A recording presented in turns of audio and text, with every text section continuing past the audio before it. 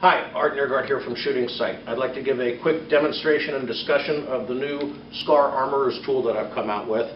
Uh, this tool is a collection of everything you need to take down and maintain and clean the SCAR rifle. Um, I've got here a SCAR 17 I'll demonstrate it on. We'll show clear. This tool replaces pretty much the collection of operators cleaning tool as well as the FN Armors tool used to maintain this rifle.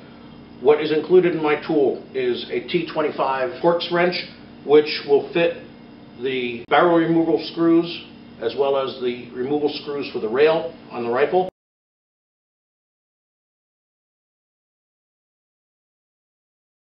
The next one in is a T15 Torx. It's not actually used for anything on this rifle, but a lot of scope rails use T15 Torx screws to hold the scope rails on.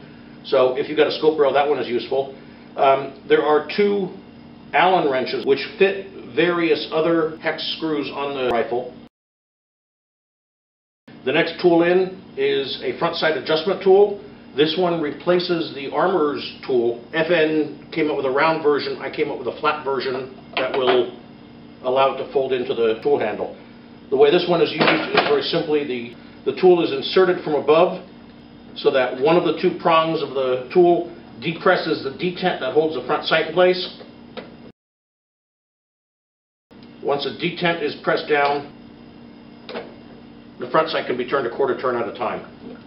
Uh, Next down, there are two wire probes that are used to clean out the various gas ports. I'll show you those in a second. Finally, there's a small screwdriver which is designed to fit the small screw in the top of the selector switch, which is needs to be removed in order to take down the trigger group. On the other side, I've got four tools. I have a reamer that will clean out the gas cylinder system. I have a scraping tool for the gas plug and the gas piston.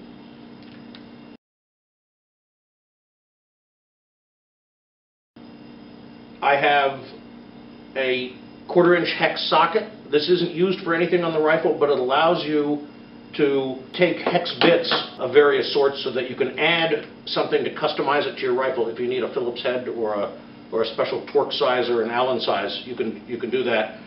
Uh, this next tool is a combination of a 7 millimeter open-end wrench, which is used on the FN system to attach and remove the grenade launcher, for those of you who have one. Um, it also has a little wrench used to turn the gas valve in case it gets dirty and hung up. And then finally, there's an extra long hex wrench, which is long enough that it can reach up inside of the grip in order to access the Allen that holds the grip onto the rifle in case you want to remove your grip. So the way to disassemble the gas system on this rifle, first off the Armorer's Toolkit, you see there's a flat screwdriver blade here.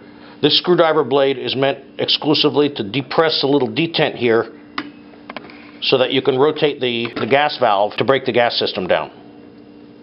If the gas system is having difficulty in moving, the armor's key also has this little notch here so that you can use this wrench to help you turn the gas valve. On my system, I don't have a dedicated screwdriver blade. Instead, any one of these edges on the in the toolkit is sharp enough that it will act as a sharp edge to, to depress the detent key. In order to clean the gas system, first, the operator's kit has got a rounded edge which goes inside of the gas valve this not only contacts the bottom of the gas valve, but this straight edge here will scrape the edge of the, of the gas valve to get the inside of the gas valve clean. In my toolkit, I've got the, that same design to, to clean the inside the, the gas valve. Next, you see a little semicircular cutout. In the original FN toolkit, that cutout is designed to fit around the gas valve and scrape along the bottom edge of it in order to remove any carbon deposits. Same thing in my toolkit. It fits around and it scrapes the bottom edge there. Next in my kit is a push pin to remove the, the gas piston. Uh, what you see here is a prototype. I don't have the, the final production one in time for this video. This is included in every kit. And to remove the gas piston, you basically take the rear end of, of this with those two uh, channels and you just engage those in the back of the upper. Let that slide down inside of the rails inside the upper and put in the bolt carrier assembly behind it. When, when the bolt carrier slides forward, it drives the piston right out the front of the, of the cylinder. After the piston is removed, you see there's a little semicircular cutout in the operator's toolkit. This is intended to go around the head of the piston, so you can rotate the piston to clean it. It'll work around the bottom of the piston. And then finally, there's a hole with an edge on it, which is meant to scrape along the piston shaft. Similarly, in my toolkit, I have the semicircular cutout, which fits around the head of the, of the piston, around the base of the piston. I have the scraping hole.